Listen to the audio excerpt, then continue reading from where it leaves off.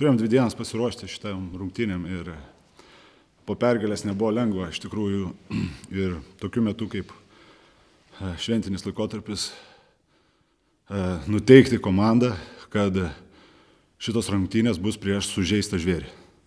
Tikrai jie yra sužeisti ir jie pavojingi, matėsi nuo pat rungtynių pradžių, jie, jie kybo mum į atlapus ir, ir tikrai nebuvo lengva, bet džiaugiuosi, kad vyrai atlaikė. Tas fiziškumas, kurį aš noriu, šiandien buvo, Ne visuose situacijose, be abejo, aišku, gale rungtynių šiek tiek atsipalaidavom, bet e, e, įmant keturias ar penkias paskutinės rungtynės mes nepraleidom daugiau nei 80 taškų. Čia dabar tik taip, taip primetės. Tai reiškia, kad, kad, e, kad tas centimetras dėtas žingsnis gynyboje tikrai, tas, kas, kas mums yra šiuo metu svarbu. O apie niuansus krepšinio tikrai E, reikėjo šiandien priimti sprendimus, e, varžovai daug rizikavo, e, daug kur keitė gynybas, turėjom greit prisitaikyti ir, ir, ir iš to manau, kad tikrai neblogai išeidavom ir, ir turėjom laisvų metimų, turėjom, turėjom, turėjom, turėjom gerą dieną. Ruošėtės specialiai prieš jų aukštų žmonės žaisti, nes nu, aukšta, galinga priekinė linija sutarę buvot visada dvigubinti? E, žinom, kurios turim dvigubinti žaidėjus, kurie, kurie yra tikrai jų turi, turi masės, turi NBA kūnas, galim sakyti. Tai e, taip, taip pavadinčiau. Tai e, matėm rungtynę su Neptūnu ir, ir šitoje vietoje jie tikrai dominavo, tikrai daug. Dėl to ir pradėjo dviem dideliais, nes jie turi ten tą pranašumą. Tai mes turėjom iš jų tai atimti. Tai manau, kad šiandien pavyko. Jau daug šnekėjom apie Likomą ir praeitą kartą ir, ir šiandien. O kaip e, Martinas Pacevičius įsilėjo į komandą ir patenkintas jo žaidimu? Uh, kiekvienam atėjusiam iš NKL, aš neskaitau, kad šiemet buvo LKL, jis buvo epizodinis Lietuvos ryte, bet kiekvienam atėjus iš NKL yra tikrai uh, didelės, didelis laiptelis, kur reikia pakilti greityje, greitį sprendimų prieimime, turi įvertinti greičiau situacijas. Tai aš manau, kad jis yra mokinukas, kuris kabinsis dantim, suvalgys mūsų prienų parketą, bet jisai, jisai eis į priekį. Tai man patinka su tokiem žmonėm dirbti ir, ir, ir jis aišku daro klaidų, jisai, bet jisai klausosi. Tai, tai tokius krepšininkus aš mėgstu ir, ir žinau, kad dažnai mažiau talento e, laimi prieš noras, laimi prieš didelį talentą.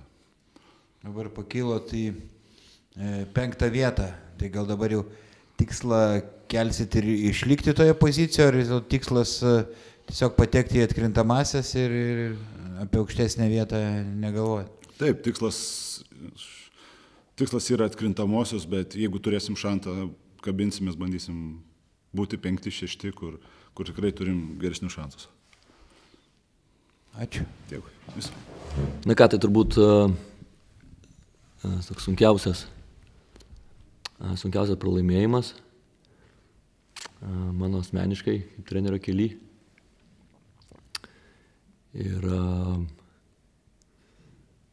aš tikrai na, prisėmu visą atsakomybę, kad mes šiandien atrodėm taip, kaip atrodėm.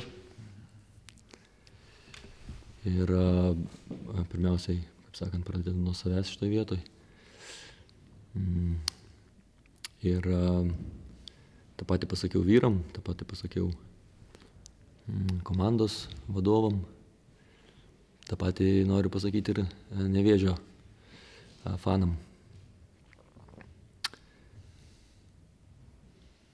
Aš žinau, kad tai yra, na, nelengva būti tokioje situacijoje, kiekvienam iš mūsų. Ir tas, tas rungtynių planas, kurį mes turėjome, tiek gynyboje, tiek poliume, viskas absoliučiai niekas neveikia. Pats faktas, pats faktas kad mes pralošėm uh, tai beviltiškai, tai tas beviltiškumas jis uh, tikrai buvo, na, tam gan logiškų priežasčių. Uh, vėlgi aš sakau, kad aš nesivaikau čia pasiteisinimų, bet, bet tam buvo logiškų priežasčių pačiam beviltiškumui. Ir a, aš iš priežastį žinau.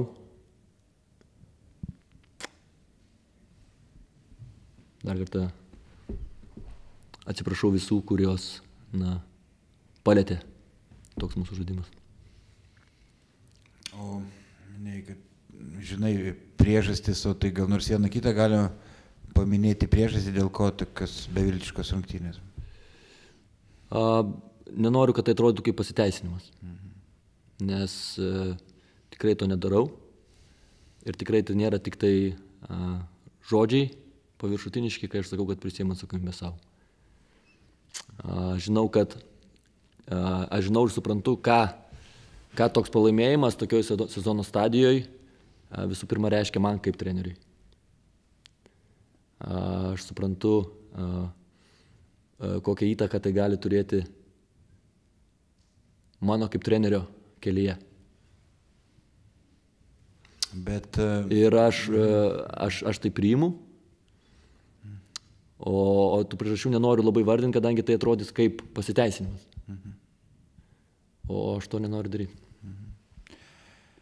Bet e, toliau kovosit, stengsitės išvengti paskutinės e, vietos ir e, matai potencialą, Na. kad komanda gali gerinti. Be jokios abejonės, be jokios abejonės, kad mes kovosim ir mes kovosim tikrai ne, dėl, ne tik dėl paskutinės vietos išvengimo, tai kad dar gan daug rungtynių liko.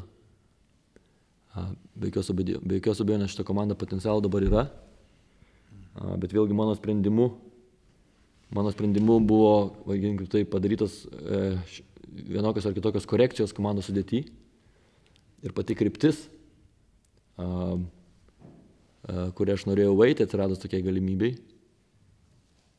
Na, šiandien jinai a, labai labai nepasiteisino. Ir, a, na, negaliu sakyti, kad praeitos rungtynės, tarkim, su Klaipėdos Neptūnu. Tai nepasiteisino, mums nu, nepasisekė, pralašėm jam taškų. Bet a, a, daug dalykų, pakeičiant a, kažkokią tai šiek tiek kryptį taktinė, taktinė dalyje ir kada atsiranda naujų žaidėjų, e, juos reikia atidirbti. Ir didžioji dalis komandų kitų jos yra labai labai, na, vadinkim taip, geram automatizme visame tame, ką daro.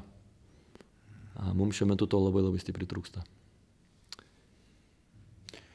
O nesigali pats sprendimo, kalai Zakį paskolinti Lietkabelį. Ne, vėlgi aš nesigailiu, nes aš tikėjau ir vis dar tikiu tą idėją, tą mintimį ir tuo keliu, kad a, Julius Juciuko pasikvietimas dėka to, kad paskolinom panusą, a, mums gali duoti a, teigiamų rezultatų. Tai, kaip sakant, toks pralaimėjimas e, nepakerta mano tikėjimo tom. Jūcikas pirmose dviejose rungtynėse buvo labai rezultatyvus, šiais buvo uždengtas, prieš jį buvo veik dvigubinama nuolat gynyba ir jūs prieš tą dvigubinimą kažkaip nesuradot vaistų. Jūs teisus, šiandien mes tikrai labai strigom būtent dėl to dvigubinimo. Na, mes sužinojom, kad, kad žaisim rungtynės pirmadienį tik tai per tos savaitės vidury, besiruošdami rungtynėm su Neptūnu. Ir e, vakar turėjom, šeštadienį mes turėjom labai sunkės rungtynės Klaipėdoj, kur a,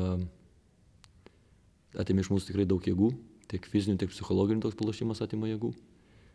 Ir mes žinom, kad jis šiandien trepins, kad dvigubins. Ir bandėm a, vakar praseit, bet negalėjom nieko šiandien išpildyti iš to, ką, ką reikia daryti prieš tokią gynybą. Dėl to jie visiškai nuliavo Julių iš, iš rungtynių. Ir, a, ir na, manau, kad jis šiek tiek pavargęs dar buvo šiandien po, po sunkių rungtynių šeštadienį. Nu ką, ačiū. Ačiū. Dėkui.